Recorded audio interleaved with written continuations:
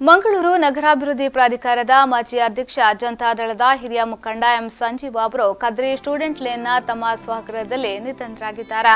ಅವರಿಗೆ ಎಂಬತ್ತಾರು ವರ್ಷ ವಯಸ್ಸಾಗಿತ್ತು.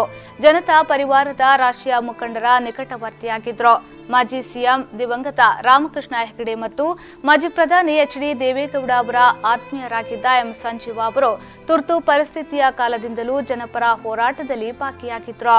ಉಡುಪಿ ಲೋಕಸಭಾ ಕ್ಷೇತ್ರದಲ್ಲಿ ಜನತಾದಳದ ಟಿಕೆಟ್ನಿಂದ ಸ್ಪರ್ಧಿಸಿ ಅಲ್ಪಾಂತರದಿಂದ ಸೋಲನ್ನು ಅನುಭವಿಸಿದ್ರು. ಅವರು ಮಂಗಳೂರು ನಗರಾಭಿವೃದ್ಧಿ ಪ್ರಾಧಿಕಾರದ ಅಧ್ಯಕ್ಷರಾಗಿದ್ದಾಗ ಹಲವಾರು ವಸತಿ ಬಡಾವಣೆ ಅಭಿವೃದ್ಧಿ ಮಾಡಿದ್ದಲ್ಲದೆ ನಗರದ ಅಭಿವೃದ್ಧಿಗೆ ಹಲವು ಯೋಜನೆಗಳ ಅನುಷ್ಠಾನವನ್ನ ಮಾಡಿದ್ರು.